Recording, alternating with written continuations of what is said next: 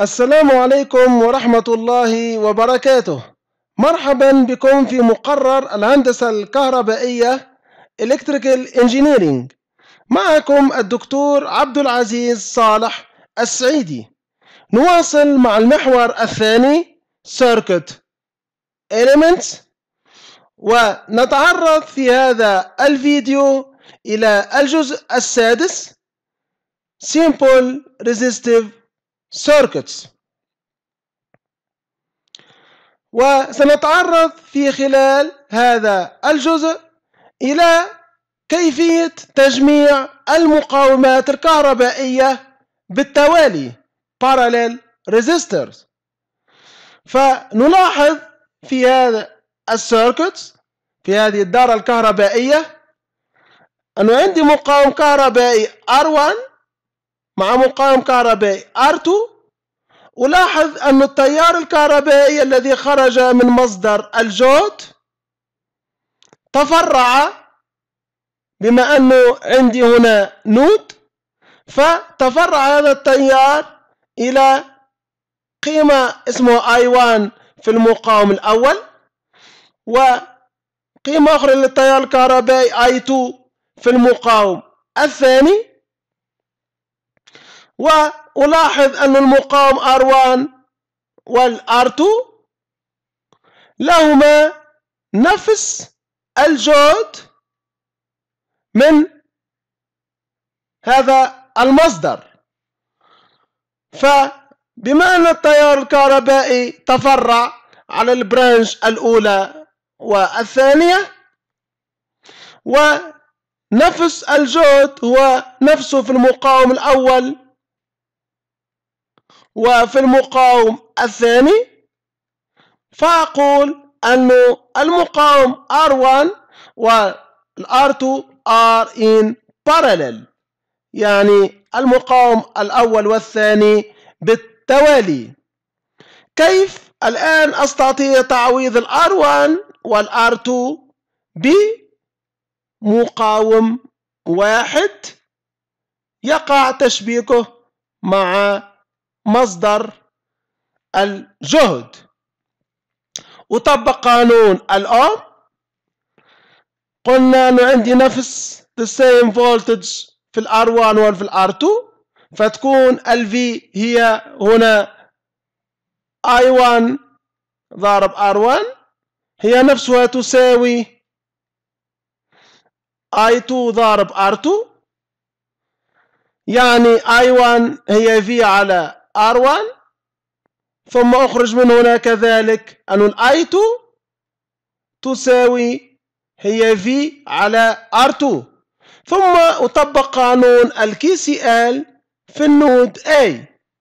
يعني أن التيار الكهربائي الداخل إلى ال node يساوي التيار الكهربائي الخارج من ال node وهما ال I1 وال I2 وأعوضهم بالقيمة المستخرجة. من قانون الأوم فأجد أنه ال I تساوي V ضارب واحد على R1 زائد واحد على R2 بما أنه واحد على R1 هي مقاومة وهذه هي مقاومة كذلك فأستطيع تعويض واحد على R1 زائد واحد على R2 ب كذلك مقاوم قيمته واحد على R equivalent. وبالتالي أستطيع تعويض كل من المقاوم الأول والمقاوم الثاني بمقاوم equivalent بعد توحيد المقامات في هذه المعادلة. ثم أقوم بالمقلوب. فأتحصل على أنه R equivalent ليست إلا هي الضرب على المجموع. يعني في حال عندي مقاوم ومقاوم آخر parallel R1 و R2 فأنه المقاومة الجملية هي R1 ضارب R2 على R1 زائد R2 أما ننتبه لهذا لأن هذه المعادلة ليست لا أستطيع تطبيقها إلا في two parallel resistors. أما إن كان عندي ثلاث مقاومات أكثر يعني من اثنان أو أربع أو خمس. فهنا قيمة الآر equivalent وطبق القانون الأول وهو أن واحد على R equivalent. أجمع المقلوب واحد يعني على R1 مع واحد على R2 مع واحد على R3 فتكون هذه هي قيمة ال R equivalent في ثلاث مقاومات أو أكثر. نطبق هذا على دارة كهربائية. مطلوب مني استخراج ال R equivalent لهذه الدار الكهربائية بين النقطة مثلا A والنقطة B. ألاحظ أولا أن المقاوم واحد أوم وخمسة أوم هم بالتسلسل سيريز قيمتهم هي الجمع فتكون خمسة زائد واحد ستة. هنا عندي المقاوم ثلاثة أوم وستة أوم واضح جدا من خلال الرسمة أنهم بالتوالي فتكون المقاومة الجملية في حالة مقاومان هي الضرب على المجموع يعني ثلاثة ضارب ستة على ثلاثة زايد ستة فتكون القيمة اثنين أوم الآن كيف سأتحول إلى الرسمة B عندي اثنين أوم واثنين أوم سيريز فتكون هذه القيمة الجملية أربعة.